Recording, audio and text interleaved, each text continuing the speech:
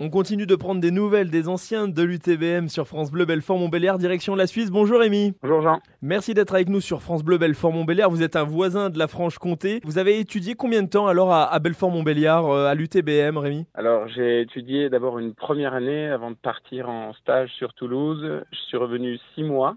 Et ensuite, j'ai fait un semestre à l'étranger et j'ai trouvé mon projet de master dans l'entreprise euh, dans laquelle je suis aujourd'hui. On va en parler dans la deuxième partie, ce que vous faites aujourd'hui à Lausanne, hein, euh, en Suisse. Les souvenirs que vous avez du, Nord-Franche-Comté, Rémi, euh, qu'est-ce qui reste depuis quelques années là? Alors, c'était une bonne découverte, autant gustative. qu'au niveau des, personnes. on a découverte de, de Montbéliard, du territoire de, de Belfort également. Euh, toujours énormément en fait euh, d'amis et de connexions. J'ai l'occasion de retourner régulièrement pour, euh, par exemple, le FIMU, pour revoir revoir des anciens et puis voir l'établissement. Ouais, vous, vous, avez étudié quoi alors à l'UTBM de façon plus précise, Rémi alors? J'ai fait design industriel avec donc la spécialité c'était design ergonomie et j'ai fait design industriel. Très bien. Et derrière, vous, vous travaillez, vous occupez un poste aujourd'hui euh, à Lausanne, en, Suisse. On va en parler dans, dans, la, dans la deuxième partie. Euh, qu'est-ce que vous avez préféré euh, dans, dans le Nord-Franche-Comté? Vous avez parlé de la gastronomie, il y a aussi les beaux paysages également en Franche-Comté. S'il faut ressortir une chose, Rémi, c'est laquelle? Alors c'est une bonne question, je n'avais pas forcément préparé. la diversité, la diversité des parcours de chacun, la richesse.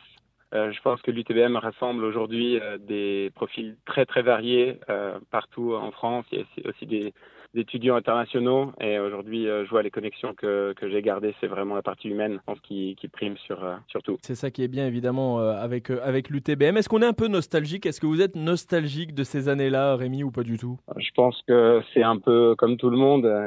quand on est étudiant, on a énormément de temps, pas beaucoup d'argent. Quand on commence à travailler, on a de l'argent, on a plus de temps. Il y a forcément toute la partie avec l'association euh, des étudiants, énormément d'engagement dans l'associatif euh, qui a été euh, un vrai marqueur, en tout cas, du plaisir que j'ai eu à, être dans, dans, la région. Et on va vous retrouver dans quelques instants en direct de, de, Lausanne, en Suisse, pour savoir ce que vous faites alors justement aujourd'hui. À tout de suite. Rémi, quel poste vous occupez alors du côté de Lausanne? Alors aujourd'hui, je suis responsable de la partie industrialisation dans une société de drones. L'industrialisation, ça consiste à prendre en fait des, des pièces qui sont développées par le bureau technique et de les emmener euh, jusqu'à euh, la grande production. Donc ça va être discussion avec les, les fournisseurs euh, et puis s'assurer que les pièces qu'on obtient à la fin bah, sont toujours conformes, autant sur la partie fonctionnelle mmh que de la partie intégrité technique. C'est un, job que vous occupez depuis longtemps du côté de Lausanne. Vous en avez parlé en première partie. Vous, étiez, euh, vous avez été à l'UTBM, après à Toulouse et vous êtes revenu pour, pour un master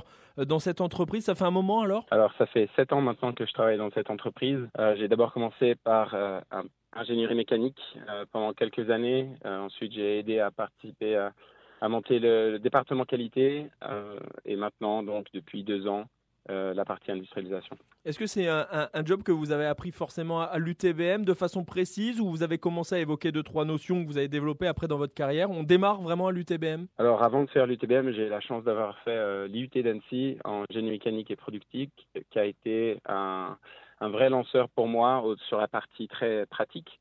L'UTBM a permis en fait de euh, travailler principalement les aspects des notions en fait qui sont nécessaires pour être ingénieur, apprendre apprendre à apprendre et euh, toute la partie théorique également qui est, qui est nécessaire pour euh, l'ingénierie mécanique. Oui, ça permet d'apprendre euh, plein de choses et de voir également plein de choses. Votre vie à Lausanne, elle est si différente que, que, la France, que la Savoie, d'où vous êtes originaire, de, Belfort-Montbéliard. Racontez-nous un petit peu la, vie à Lausanne alors, Rémi. D'un point de vue occupation, c'est toujours énormément de, de sport, que ce soit à la Haute-Savoie, d'où je suis originaire. Il y a toujours eu les, les lacs et montagnes, donc c'est un plaisir pour moi de toujours, toujours continuer en fait à pratiquer des activités euh, qui me sont chères, autant nautiques euh, que terrestres, et d'aller dans les montagnes et profiter des jolis paysages. Dernière euh, question avec vous, Rémi, peut-être la plus difficile. Vous êtes de Savoie, vous avez été en Franche-Comté, aujourd'hui vous êtes en Suisse. Le meilleur fromage dans ces trois régions, il est où alors? Et attention à ce que vous dites, vous êtes sur France Bleu, Belfort, Montbéliard, Rémi.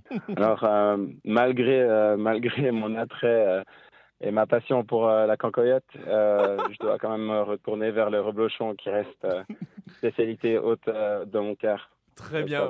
Bon, on accepte exceptionnellement, on accepte votre réponse. En tout cas, merci beaucoup d'avoir pris euh, quelques minutes euh, ce matin sur France Bleu Belfort Montbéliard et je vous dis à très vite alors Rémi. Merci à vous et bonne journée à tous.